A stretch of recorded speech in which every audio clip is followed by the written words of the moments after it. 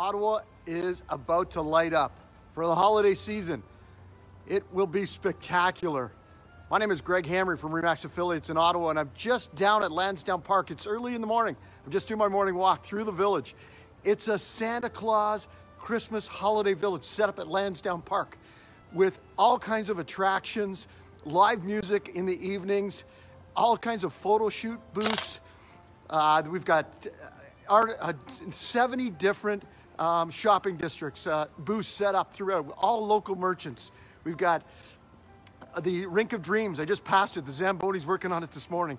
A light show that'll blow your mind. But the thought and the detail of this that's gone into Lansdowne Park for the holiday season is unreal. While you're down here, you can take in the theaters, the sought after restaurant destinations, and just walk through and fill up with the Christmas spirit. Earlier this week, I was walking down Spark Street as well, which is all part of the downtown core. It's another fabulous location. They've really done it up well this holiday season. Stop in and see Dom and Frank at Dominic's, uh, Dom's Menswear. Fabulous location. He's ready for the holiday season. We, when you walk through this place, so you really feel the magic. You feel the magic of Ottawa and, and, and its surroundings. You'll really want to live here. I have a number of clients that live in Lansdowne Park and the Glebe area. They absolutely find it spectacular and can't believe they live here. It's, it's a real holiday spirit here at Lansdowne this morning.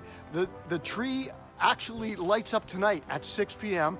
This is uh, will be the first, the last Friday of November, and the, the lights will light up right along the cattle castle. But the farmers market is open every Saturday and Sunday, and it's an outdoor market. So you and everything is local.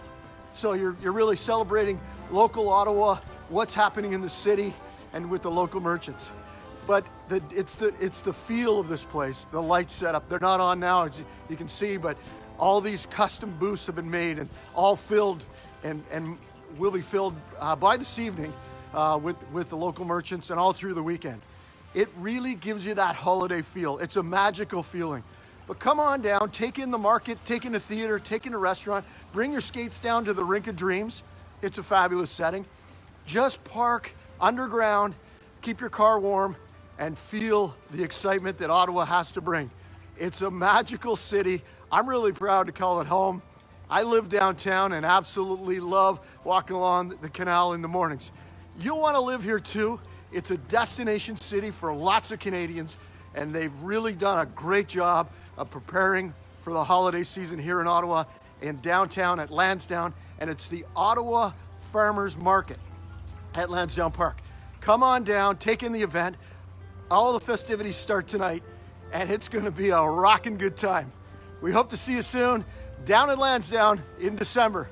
All the best. Again, my name is Greg Hamre from Remax Affiliates in Ottawa. Proud to call Ottawa home and proud to, proud to be in this city. Take care.